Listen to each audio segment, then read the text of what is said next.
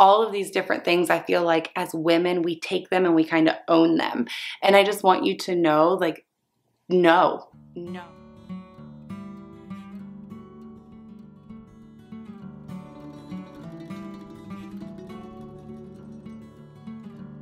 Hey guys, it's Aaliyah with Open Doors, Open Hearts blog, and today I am excited because I am finally going to show you our mantel.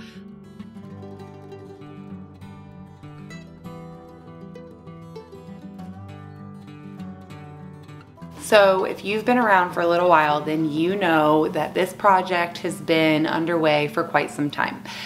But it is finally done and today I'm going to talk to you about a few of the reasons why it took us longer than it should have to get this barn beam mantel up. And I'll be sharing all of those at the end of the video. So if you are wanting to hang a barn beam mantel up over your fireplace that you will not make the same mistakes that we did. But before we jump into that, I wanted to just kind of talk to you guys about the mantel and how I'm feeling about it. If you watched the lime wash video, then you know I was feeling a little uneasy about the way that that project turned out. Um, I, the stone has been growing on me, um, but now that the mantel is up, don't tell my husband I said this. He only watches like 50% of the videos I post, so there's a chance he'll never hear this as long as nobody tells him. Um, he was right. I actually really, really like the stone now that the mantel is up. And that was something he had told me back then. He told me to just stop freaking out about the stone and just wait till the mantel was up because he was certain that once the mantel was up, I would like it. And he was right. I thought he was wrong back then, but he was right. So now I will say it was not my original vision for what our fireplace would end up looking like, but now that it's done, I really do like it. Uh, the other day I was vacuuming in here and I just happened to look up in the middle of sweeping the living room floor and I just I really, really like the way it looks over here now. Um, we've been living with it without the mantel and it just like stone to the um, drywall, which was one of the options that I did discuss in my original video where I was talking about um, just like the inspiration and the ideas and the planning phase of this remodel or this makeover. But um, after living it with that for a while, not intentionally, the plan was always to hang the, the barn beam up. But after living with it for about nine months with no mantel, um, I am very, very happy that we did decide to do the barn beam mantel, and I do think it looks really, really good. Um, when I first started Open Doors, Open Hearts blog, I started that long before I started the YouTube channel. Um, I never shared our living room space. And I thought if I would just do some of these little projects, um, I lightened the stained wood coffee table. I redid um, one of the lamps that I have in the living room and I just recently painted the cabinet I added a rug. There were so many like little things that I did and I thought that each of these little things would make me enjoy this space more. But now that this fireplace is done and the mantel is on, when I looked up after sweeping, that is 100% why I did not like sharing the living room.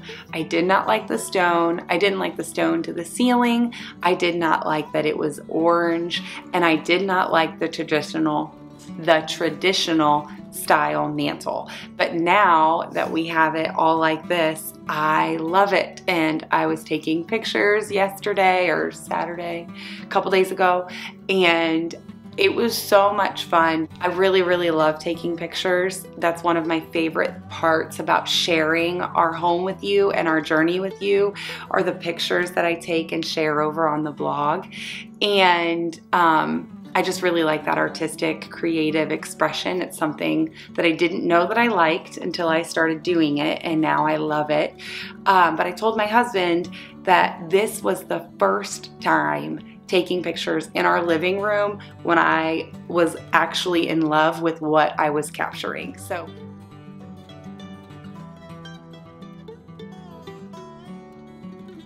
this was less than $200. This whole project was less than $200. Now, that does not include the drywall.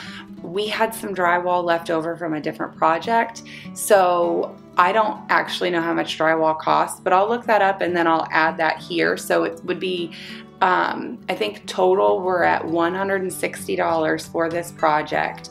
So then 160 plus whatever the drywall costs um, is what this project cost us. Um, I was doing some research looking at different places where I could purchase a like a reclaimed barn beam um, that was cut to size and all the things, um, buying it from a company and a a hand hewn beam like this one was generally somewhere between eight and nine hundred dollars and I got this for $60 off Facebook Marketplace. Now, again, at the end of the video, we are going to discuss different things that my husband would do differently if we did it again, but the way that we did it, about $200 for this whole entire project. And I feel like that's a huge win. And as just some encouragement, because I feel like it's really easy to watch these YouTube videos or look at pictures on Instagram and Pinterest and get really down on ourselves because our home does not look that way. We would love for it to look that way, but it doesn't. And I just want you to know that we have lived here for six years and in those six years, we have said that we were going to redo. I mean, this was literally one of the first things that we said of of all of the things about the house that we did not like. The fireplace was top five, easy, and we said we were going to redo it. We said we were going to redo it. And Here we are, six years later, and it's just now finished. So, if you are feeling discouraged about yourself or the state of your home, I just want you to extend yourself some grace and know that you are good enough no matter what the state or condition of your home is right now.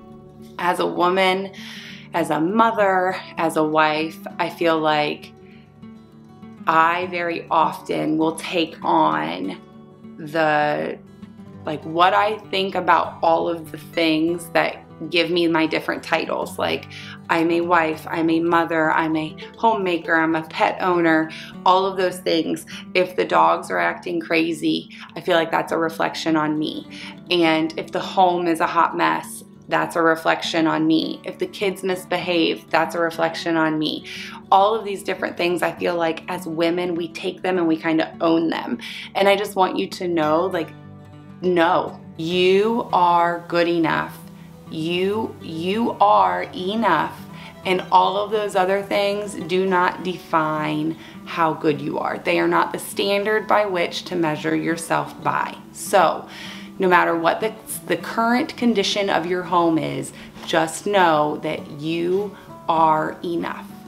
So now I'm going to talk about the different lessons that I learned during this project. So I told you guys that the barn beam mantel only cost $60.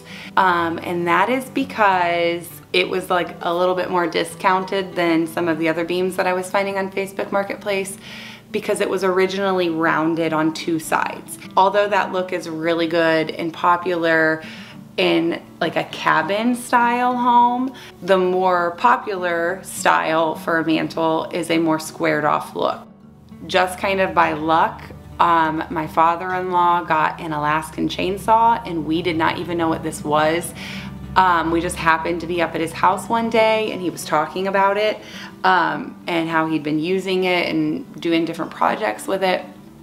And my husband was like, that's exactly what we need for the mantels. We ended up taking it up to my in-laws and we cut it so that it was square. My husband said that he, if he could redo the whole thing, he would just buy a squared off mantel. We probably would have also extended our radius for how far we would be willing to drive to go pick it up because I think our radius was like 10 miles or something ridiculous. So then the second thing is before we took it up to our in-laws, my in-laws to cut it with the Alaskan chainsaw, I did not decide the size that I wanted it to be. So we cut it, it was squared off, all was good. We brought it back home, we brought it in and my husband held it up and it was too big. I wish that I had done my research before. That way we would have cut it the right size the first time instead of having to do multiple trips. And honestly, that is the biggest thing that took time away from getting this done quicker. Third thing that we would do different is the way that we hung it on the wall. So there are mantel brackets that you can get and I was looking on Etsy um, the for the size of our mantel, the one that we needed would probably be around $150. We spent $30 on our brackets because we just went to Home Depot and got some industrial pipe and um, fastened that to the studs, which worked fine. The mantel is secure and it's not coming down, but looking back, my husband said he would have bought the brackets, even though they were more expensive, it would have been worth the time and energy that went into lining it up and making sure that the mantel was on properly or was gonna fit properly onto those um, industrial pipes. So if you wanna be super thrifty, you are more than welcome to do it the way that we did it.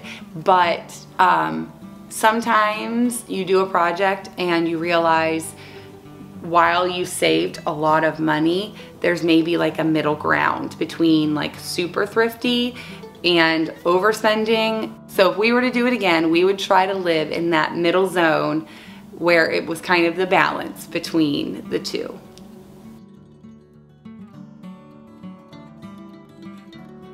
That's the other one.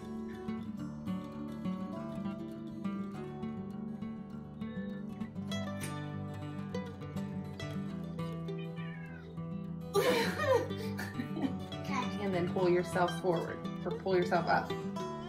Can you do it?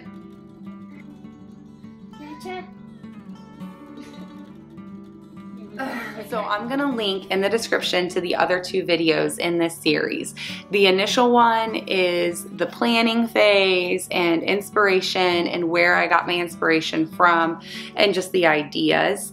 And then the second one is how we transitioned the stone from orange to what it is now. So if you didn't see the full journey before today, where this started and where we are now, then go ahead and watch the next video and you can start at the very beginning where we planned everything and then go through the whole thing of the planning and then the stone transition and then today with the fireplace all done.